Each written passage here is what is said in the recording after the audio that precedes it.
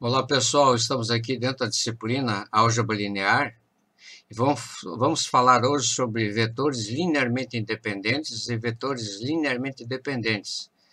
É um exercício de número 1 e é a primeira parte, porque nós temos um enunciado aqui onde nós vamos resolver três itens, o A, o B e o C. E depois na segunda aula nós vamos resolver mais três itens, para a aula não ficar tão carregada. Tá ok? Então, o exercício número 1 um tem enunciado da seguinte forma: verifique se os seguintes vetores são LI ou são LD e justifique a resposta. É, não somente vamos resolver esse exercício pedido, mas também vamos explorar né, outras formas de ver o problema. Isso significa que se o professor fizer a modificação no enunciado de, do exercício, né, você estará em condições né, de resolver esse exercício. Tá? Então você não vai ficar naquela questão da, da só dar uma, uma receita né, para fazer o bolo, bem simples. Mas vem o professor, de repente, por algum motivo, ele modifica alguma coisa no enunciado do exercício. Então ele não é igual àquele que você resolveu usando a receita. Tá? O item A aqui, proposto, nós temos três vetores, o U, o V e o W cada um deles com três coordenadas, porque são vetores, então, de R3. Tá? O, o R3, dimensão 3, largura, comprimento e altura. Então, o U tem coordenadas 1, menos 1 e 2, o V tem coordenadas 2, 1 e 3, o W tem coordenadas 0, 1 e 3. Solução. Existem alguns métodos para se verificar se os vetores são LI ou LD. Uma coisa nós temos que dizer, que esses conceitos, definições de lineamento independente LI e LD são conceitos excludentes, ou seja, se um conjunto de vetores, como esses três vetores, esses três vetores forem LI, tá certo? Eles não vão ser LD. Se eles forem LD, eles não vão ser LI. Ou é uma coisa ou é outra, uma dicotomia, tá certo? Então, podemos pegar aqui como definição o que, que, se, que, que se entende por vetores linearmente independentes. Entenda-se isso como o seguinte, sendo os três vetores que estão aqui, exatamente três vetores em R3, então eu quero frisar esse exatamente, exatamente, exatamente, porque são três vetores mesmo, né? Em R3, no espaço que tem três dimensões, tá? Então, tudo é possível. Eles podem ser LI, eles podem ser LD. Tá certo? Então, isso é muito importante saber o número de vetores que pertencem ao espaço vetorial aqui, R3 aqui no caso. Então, a definição de vetores linearmente independentes é o seguinte. Esses vetores vão ser linearmente independentes se eu não puder, se eu não puder escrever um deles, o W, por exemplo, como combinação linear do U e do V. Se eu não conseguir isso aí, é porque são linearmente independentes, tá certo? Se eu montar um sistema linear W igual alfa U mais beta V e tentar resolver esse sistema aí, eu vou verificar que eu não vou ter condições, tá? Ou verificar se tem condições, se tem solução não tem solução. Se tem solução, é porque eu escrevi realmente o W como combinação linear do U e V. Se eu não encontrei solução desse sistema, é porque eu não consegui escrever o W como combinação linear do U e do V. Então, eles são LI, linearmente independentes, tá? Então, é óbvio que eles não vão ser linearmente dependentes. Porque para ser dependentes, o conceito é distinto, o contrário de LI. Então, no linearmente dependentes, tá? Um deles vai ser obrigatoriamente combinação linear dos demais, dos demais, certo? Então, baseado nisso, existe uma maneira muito fácil de verificar se três vetores como isso aqui, de R3, são LI e LD. Vamos montar uma matriz aqui, ó. Já coloquei em vermelho aqui e eu vou explicar o porquê. As coordenadas do U, aqui as coordenadas do V e aqui as coordenadas do W, tá? E nós vamos, vamos calcular o determinante dessa matriz aqui. Se o determinante dessa matriz que nós já calculamos, que na verdade é diferente de zero, Tá?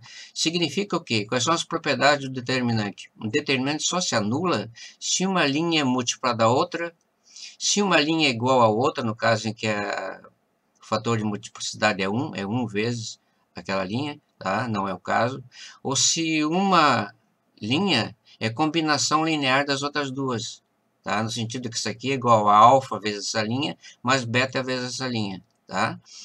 Então, Nesses três casos, o, o, o determinante se anula. Se eu não conseguir é, escrever um como uma combinação linear das outras linhas, tá? ou uma linha não ser múltipla da outra, nem igual a outra, o determinante nunca vai ser igual a zero. Tá? Então, vamos calcular o determinante dessa matriz. E eu já fiz várias videoaulas mostrando como é que se calcula o determinante de uma matriz de 3 por 3, que é quadrada, né? É, podia ser usar a regra de Sarri aqui, tá?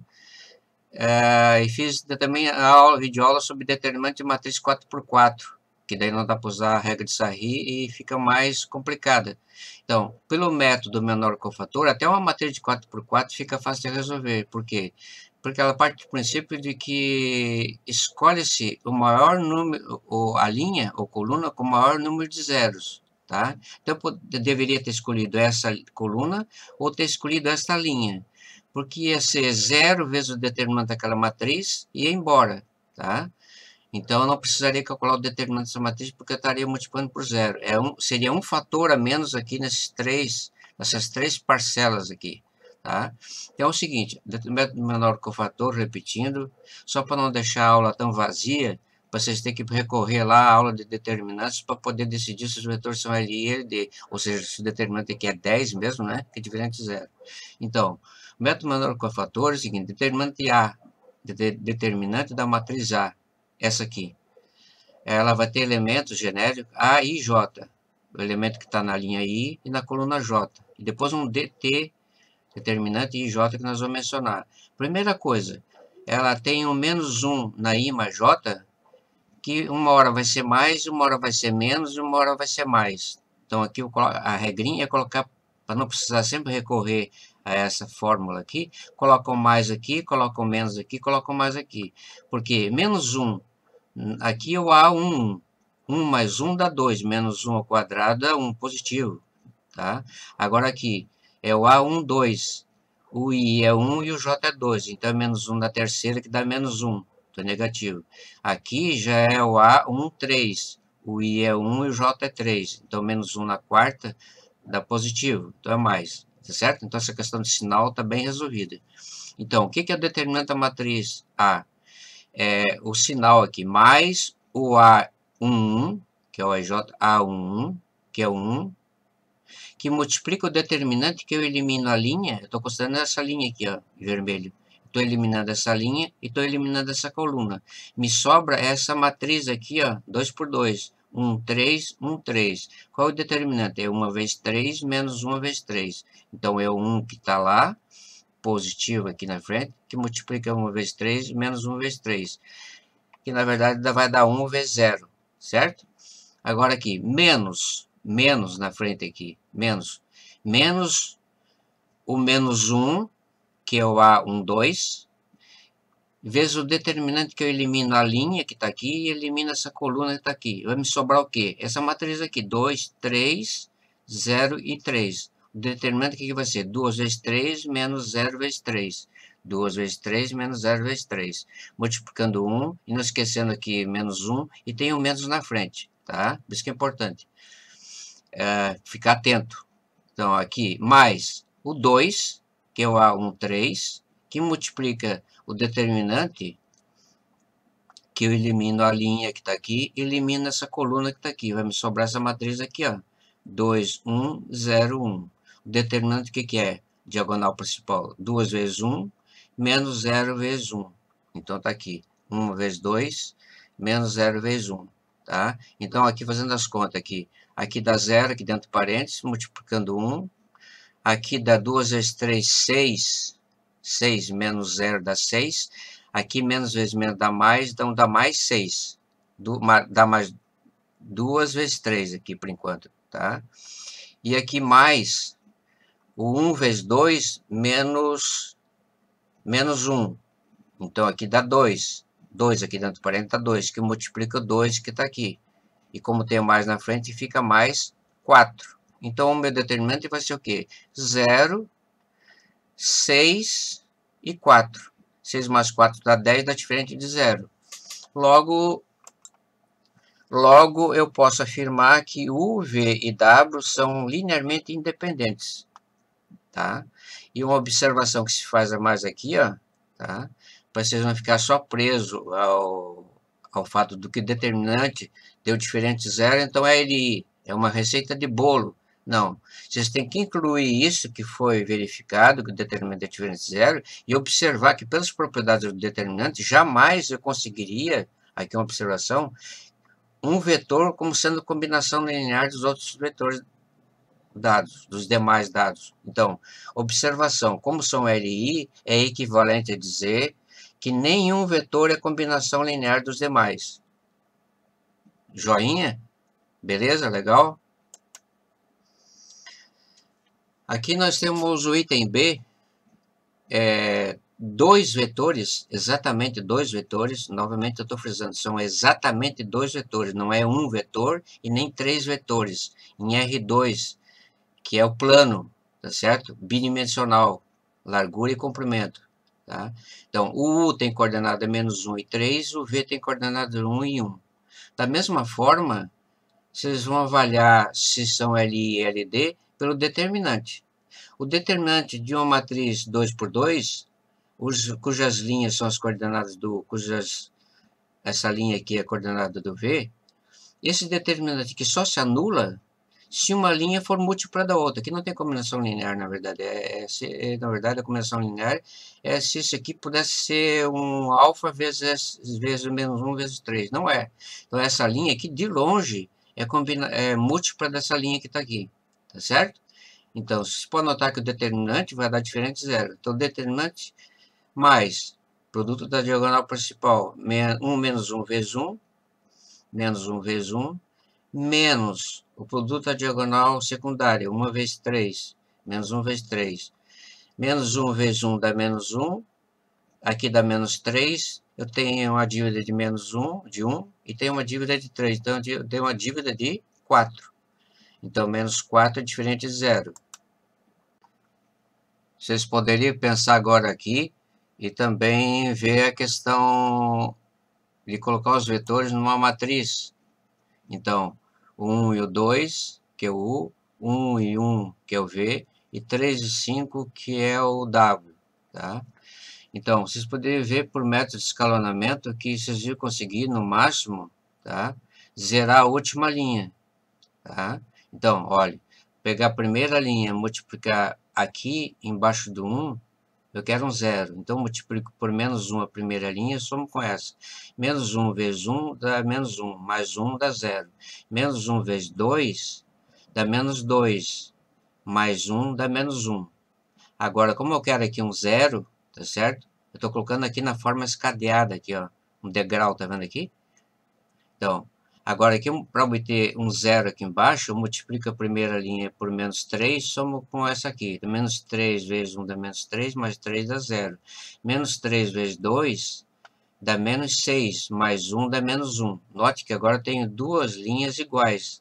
Significa que uma é múltipla da outra vai embora. Porque eu multiplico essa linha agora aqui por menos 1 e somo com a de baixo. Menos 1 vezes 0 dá 0, mais 0 dá 0. Menos 1 vezes menos 1 dá mais 1. Mais menos 1, 1 menos 1 dá 0. Então, significa que eu consegui zerar a linha e obter dois vetores aqui, tá? Que são, obviamente, linearmente independentes. Então, desses três vetores aqui, os três vetores, exatamente os três vetores, ou com os três vetores, tá? É, eu não consigo uma matriz colocar dessa forma que usando o método de escolamento de Gauss-Jordan não venha anular uma das linhas aqui, tá? Então essa é uma característica também. Então eu consegui anular uma das linhas aqui, porque o W é combinação linear do U e do V. Ah, então o que, que pode se dizer aqui? Ah, os vetores são linearmente dependentes, porque está pedindo a resposta para o problema, né?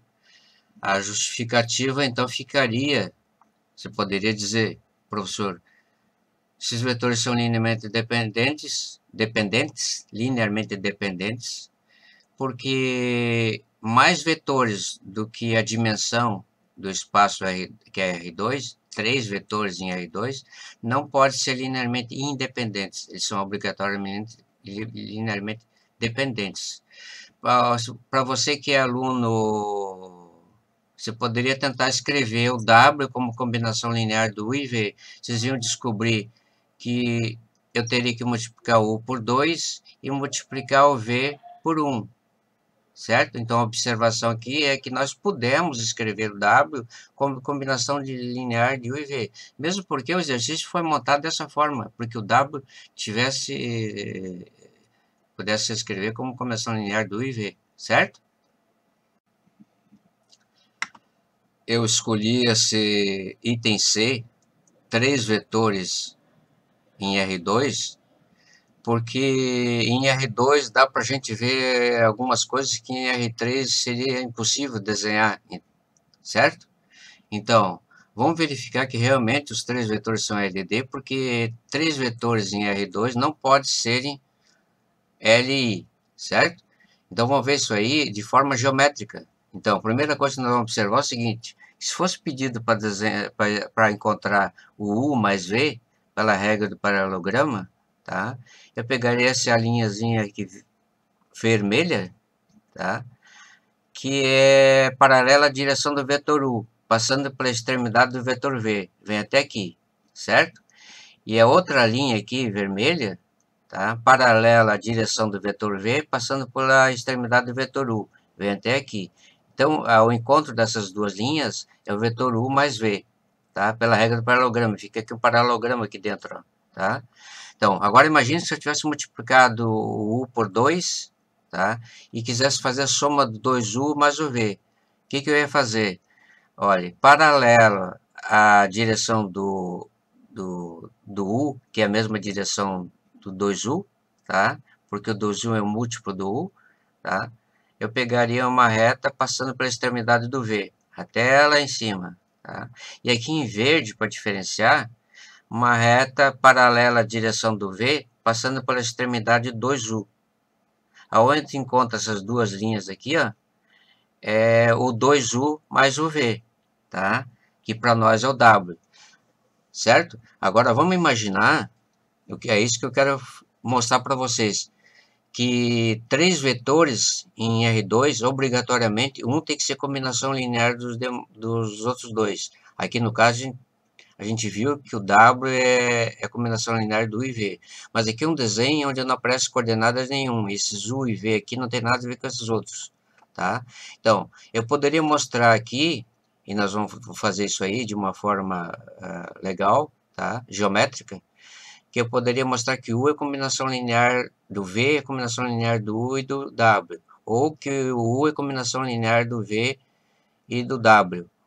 E é mais fácil para nós mostrar aqui, eu vou mostrar aqui, que o W é combinação linear do U e do V. De que forma? Olha, vamos pegar uma reta paralela à direção do U, passando pela extremidade do, do W, certo? Essa linha é vermelha aqui, tá? E pela, pela paralelo à direção do, do V, que não está bem desenhado, mas entenda que é o V que está saindo aqui da origem, tá? uma, uma reta, né? Passando pela extremidade do W, correto? Então, o que, que nós vamos ter aí agora? Então, se eu considerar aqui que está passando pela extremidade de um vetor, que é um múltiplo do vetor U, multiplicado por beta. Então, o que, que acontece? Esse beta para nós, esse W para nós, é beta vezes U mais alfa vezes V. De que forma? pegando o U, o comprimento do U, e diminuindo. O beta é um número maior que zero e menor que 1. Tá certo? Um terço, por exemplo. Imagine aqui, um terço. Cabe até dizer que pode, beta pode ser um terço. Aqui assim, ó, um terço de U, tá certo? Então fica aqui. E o alfa, já ao contrário, é um número maior que 1. Ele está aumentando o comprimento do V, tá certo aqui? Alfa vezes V. Então, ob obviamente, pelo paralelograma que está aqui, o W é o beta U mais o alfa V. Então, isso quer dizer, dados três vetores em R2, tá? sempre possível escrever de forma simples, como vocês viram aqui, o W como beta U, reduzindo o tamanho do U, e aumentando o tamanho do V pelas, pela, pelo desenho que foi deixado aqui para nós. O U sendo assim, o v, o v sendo assim, e o W sendo assim. Já em R3 seria muito mais difícil eu mostrar para vocês que quatro vetores em R3 tem que ser linearmente dependentes, porque em R3 é mais difícil de desenhar, né? Mas se isso compreendendo que vale aqui no plano, isso se vale no plano para R2, deve valer para R3 e para R4. Cinco vetores em R4 tem que ser linearmente dependentes. Legal? Joinha? Bem entendido? Beleza? Então, esse é o fim da nossa, nossa videoaula. Eu espero que o exercício número 1 um, aqui, né, com a parte 1, um, com os três A, B e C que nós fizemos, tá? E com os demais que nós vamos fazer nas, na próxima aula, um, sei lá, o item C, D e E, com alguma coisa de diferente, tá? Sempre no sentido de mostrar se os vetores são LI e são LD, ok? Então se inscreve no nosso canal aí, né? Deixa um like e sucesso nos estudos de vocês. Um grande abraço.